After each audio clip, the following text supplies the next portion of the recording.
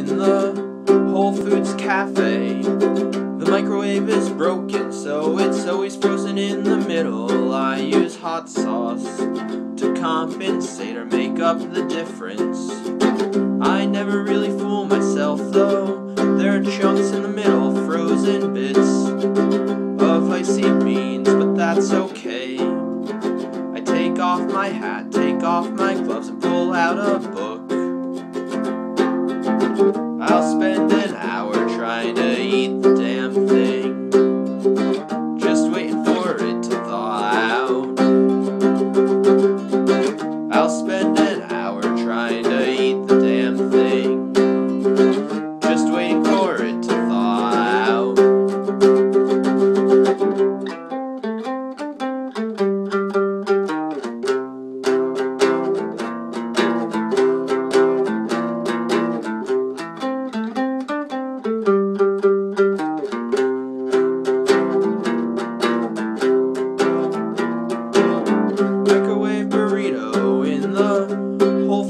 Cafe.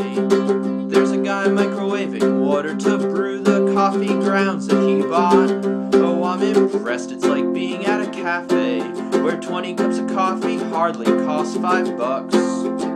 Someone else is eating a 10 cent bag of popcorn, dousing it in condiments like soy sauce and sriracha and nutritional yeast. It doesn't look that good. We all sit there a long time, just getting warm, just